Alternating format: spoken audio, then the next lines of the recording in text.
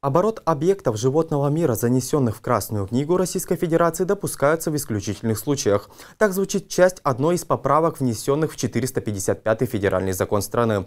Она вызвала много споров в сети и переполох среди активистов. Есть ли угроза краснокнижным животным Ненецкого округа, разбиралась Елизавета Кабанова. Поправки были внесены 22 декабря 2020 года и вступили в силу с 1 августа 2021. Они коснулись не только охраны, учета и кадастра краснокнижных, но и ограничений добычи редких и находящихся под угрозой исчезновения животных. Охота на них все еще запрещена, но есть подпись, что в исключительных случаях она все-таки разрешается. Этот вопрос взволновал многих экоактивистов. А мы решили связаться с представителями российского филиала Всемирного фонда дикой природы, чтобы уточнить, есть ли угроза для животного мира. Ничего фатального, негативного эти поправки на самом деле не вносят, кроме того, что создают ну, некую большую путаницу в вопросах мониторинга редкого вида, ведения кадастра редких видов и так далее. В процессах и процедурах э, добывания видов, занесенных в Красную книгу, ничего не меняется по сравнению с тем, что было и раньше. Если численность видов в течение трех лет сократится более чем на 50%, то будут введены ограничения на охоту для этих представителей животного мира. Данные учета охотничьих ресурсов и объемов их изъятия будут поступать в органы исполнительной власти от охотопользователя, что также насторожило многих россиян, ведь охотники могут и приукрасить числа в свою пользу.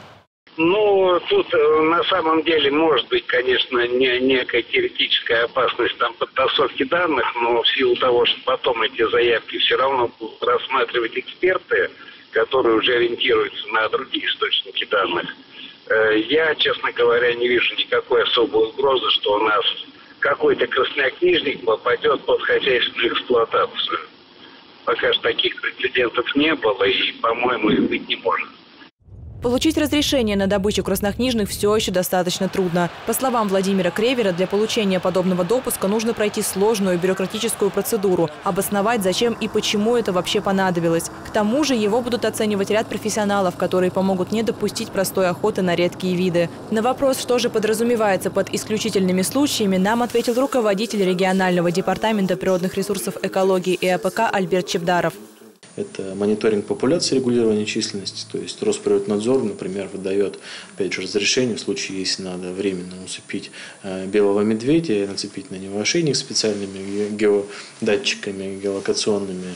Это предохранение от массовых заболеваний, если какие-то эпидемии распространяются. Это регулирование численности, ну, если, например, столкнулся населенный пункт с медведем-людоедом, тут ну, без этого никак. Тогда, да, Росприроднадзор, это федеральное ведомство, выдает это разрешение. Ну, это такая вот уже необходимость. На территории Ненецкого округа проживает 229 видов редких краснокнижных животных. По словам Альберта Чебдарова, допускать охоту на эти виды, а тем более на белого медведя, никто не будет. Сохранение животного мира – одна из главных задач, которые стоят перед людьми, чтобы будущее поколение видело редких представителей не только на картинке и с надписью «Вымершие», но и своими глазами. Елизавета Кабанова, Алина Ваучейская, Владислав Носкин, телеканал «Север».